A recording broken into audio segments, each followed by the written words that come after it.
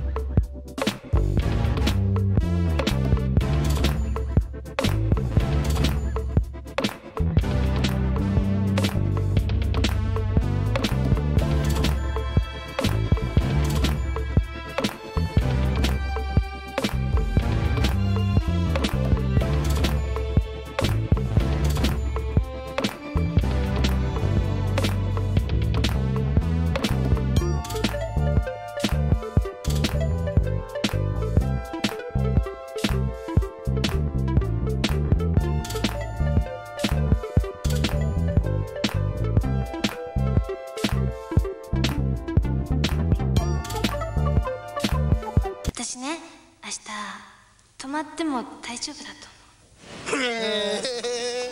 あの佳代子が？バカよいや信じらんねえな。まあそういうことだからよ。今夜は絶対 OK なわけだ。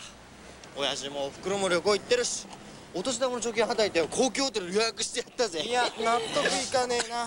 なんだよいやあの佳代子がだよ自分の方から誘ってくるなんて絶対裏があるよ。さ富士の病とかさどっか遠くに行っちゃうとかさバカか？いや。いやわけねえだろ。何か隠してるな。おいおいおい。佳代子が俺に隠し事なんかするわけねえだろ